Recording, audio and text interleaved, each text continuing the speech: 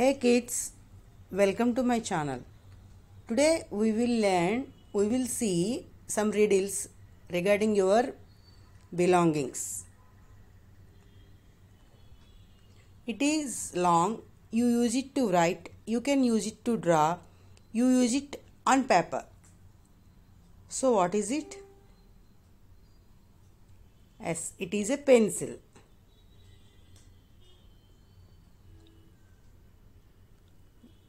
It is long, you use it to write, you can use it to draw, you can't erase it. What is it? It is a pen. Third one, it is made up of rubber. It can take away mistakes from pencil. It is sometimes on the end of a pencil. Usually it is white. What is it? Yes, it is an eraser. It is an eraser. Then the fourth one. It is used for broken pencils. It has a sharp blade. It can make me a mess. What is it? S. it is a sharpener. It is a pencil sharpener. Fifth one. It is straight. It is used to measure things. You can draw straight lines. What is it? Any guess?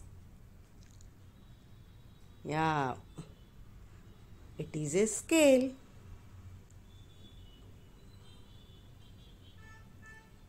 Sixth one. It has many pages. You can read it and also you can write it. Write in it. What is it? Yes, it is a book.